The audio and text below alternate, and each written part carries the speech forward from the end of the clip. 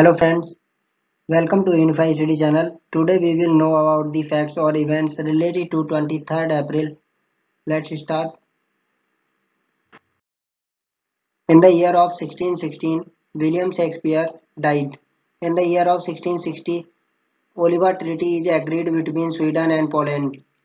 In the year of 1661, British Emperor Charles II is crowned in London. In the year of 1751, Gilbert Elliot Minto, Governor General of the East India Company, is born.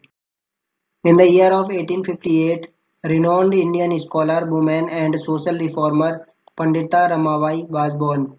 In the year of 1927, Annapurna Devi, the only woman to play the Surbahar instrument, was born. In the year of 1981, Soviet Union conducts underground nuclear test. In the year of 1984, scientists find out about the AIDS virus. In the year of 1985, the Coca-Cola company introduced a new formulated cold drink called New Coke, which was prepared to replace the company's main beverage, but within three months the new drink was to be returned, taken and the old drink was remarketed as Coca-Cola Classic. In the year of 1987, Supreme Court orders widows to share in property.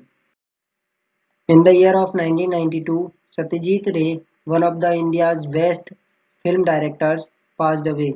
In the year of 1993, on this day, three days of voting began on a referendum about independence from Ethiopia in Eritrea, a small country in East Africa, after a long history of foreign rule and decades of conflict. In the year of 1995, World Book Day started. In 2005, First video uploaded to YouTube website. The video was about YouTube founder Jawed Karim's visit to the San Diego Zoo. Within a year about 10 crore videos were uploaded on this site. In the year of 2010, English Language Day was celebrated for the first time. Since then, English Language Day is celebrated on 23 April every year. English Language Day was established in 2010 by United Nations Department of Public Information the purpose of this day is to celebrate it, multilingualism and cultural diversity.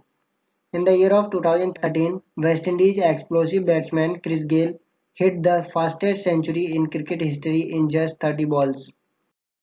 In the year of 2019, the world's first malaria vaccine was introduced in Malawi. The campaign was launched by the WHO in Malawi, giving partial protection to children.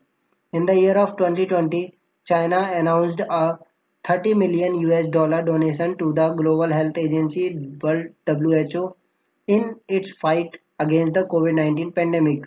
The announcement was made after America's decision not to fund the WHO. In the year of 2020, Manipur celebrates Khongjom Day. The day is celebrated to pay tribute to the warriors who fought in the Anglo-Manipur War of 1891 which was an armed conflict between the Manipur Empire and the British government. In the year of 2020, on this day, Kuala Lumpur was officially recognized as this year's UNESCO World Book Capital for organizing World Book Day with an online launch ceremony.